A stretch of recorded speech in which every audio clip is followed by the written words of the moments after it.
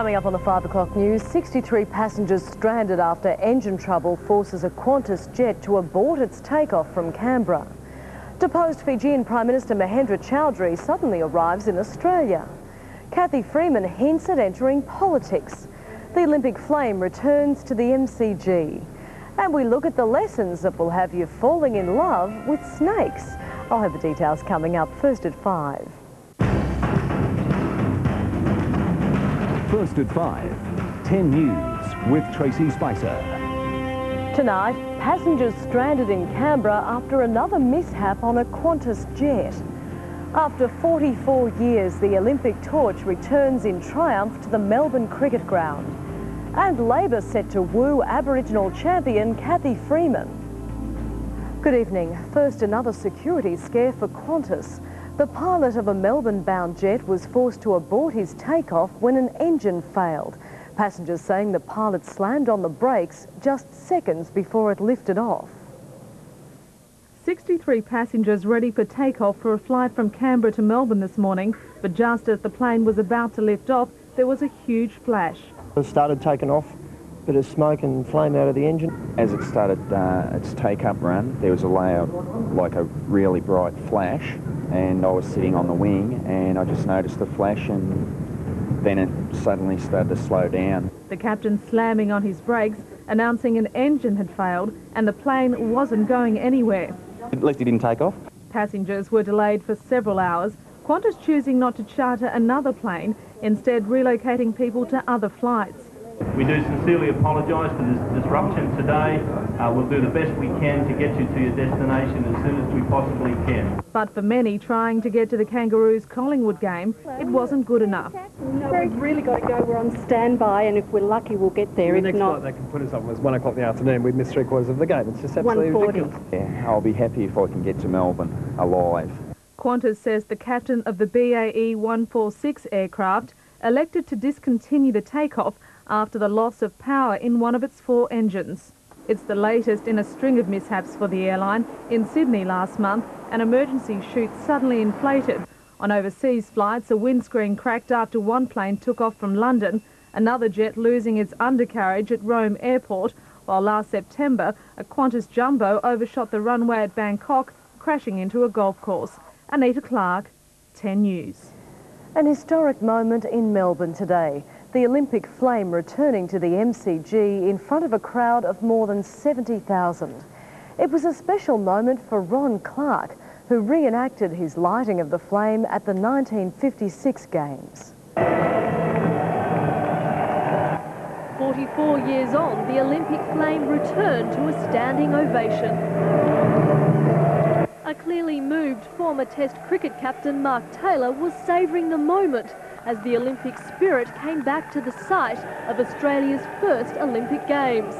The huge crowd packed the MCG for an AFL game, but first they cheered as former and future Olympians passed by.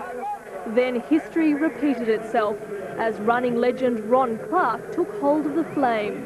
The former Olympian lit a replica of the 1956 cauldron. The opening of the Melbourne Olympics is an image etched into the country's memory, one of Australia's first television events.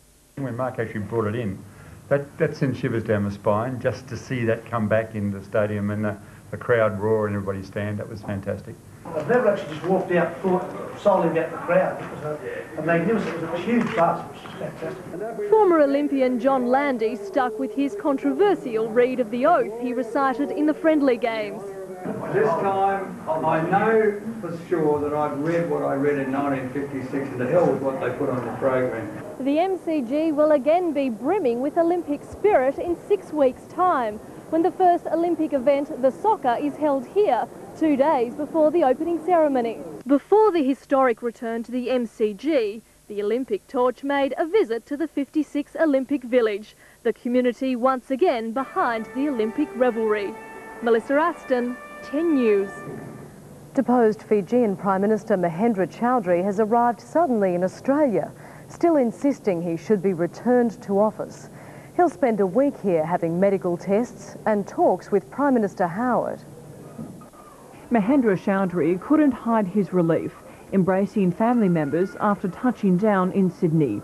In Australia for a week of talks and medical checks, Chaudhry openly admits his 10-week ordeal has taken its toll. I'm feeling physically weak. I tire uh, quickly, so um, I need to. I've been advised by my doctors in Fiji to have a thorough medical done here in Australia. As a guest of the Australian government, he'll meet Prime Minister John Howard tomorrow to discuss continuing tensions in Fiji. Because I think what happened was totally unnecessary and, and it has put the country to a lot of pain and suffering. And, uh, uh, the, the country is going to pay a heavy price for it. Howard says he'll be taking a pragmatic approach. We want the community to come together, but we want it to come together on a non-racial basis. Among other things, Chaudhry wants a return to power and more sanctions against his country if necessary. As for Speight, Chaudhry believes charges of treason are warranted, and that certainly has John Howard's support. We utterly condemn and repudiate the abrogation of democracy and the possible embrace of a racially based approach to the choosing of political leadership in that country that is wholly to be regretted. The two leaders may have more to talk about than they first thought. While George Speight remains incarcerated on an island prison, his supporters are reported to have taken 20 ethnic Indian families hostage. It's claimed 15 armed men rampaged through their tiny community near Labasa, where rebels took over a military barracks three weeks ago. Four or five gunshots were heard as the main road to Labasa was cut. Andrea Clark, 10 News. Champion Australian athlete Cathy Freeman has hinted she'd like to enter politics when her sporting career is over. And the Labor Party's been quick to say it wants her.